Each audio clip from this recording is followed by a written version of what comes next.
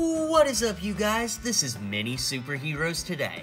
Good morning, everybody, and thanks to a Japanese website listed in the description of this video, we've got our first look at the 2020 January releasing series of DC collectible minifigures. And before we get started, I wanted to let you guys know that I have a new LEGO stop motion music video out, and you can check that out by clicking this card right here. Now, this set looks absolutely awesome. Uh, you know, this is really our first step away from LEGO Batman movie collectible minifigure series as far as DC is concerned.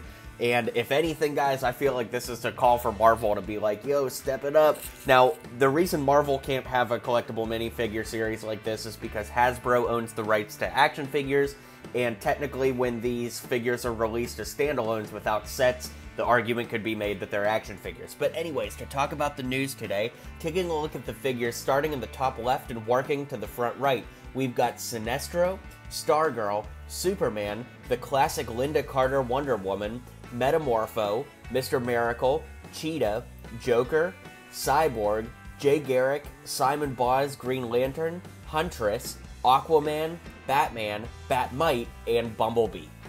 Now, I think that these figures look absolutely awesome. Uh, this is definitely a set that I feel like I'm going to need all of them for because I think that they all look great not only as figures on their own, but as customs. You know, just to kind of put you in my headspace, what I'm thinking is this new Joker with that green receding hairline, that hairpiece is going to be absolutely perfect. Perfect for the Jack Nicholson Joker to switch that hair out. So that's absolutely awesome. Uh, you know, and I have some ideas for other pieces too, but that will be other videos.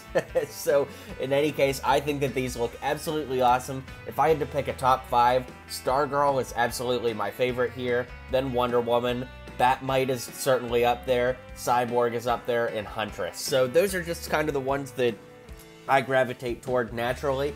Now for some bad news. I've heard rumors for a long time that this series is going to jump in price to $4.99 a piece. So before tax, that would mean that this entire set, if you find it in stores, is going to cost you at least $79.84.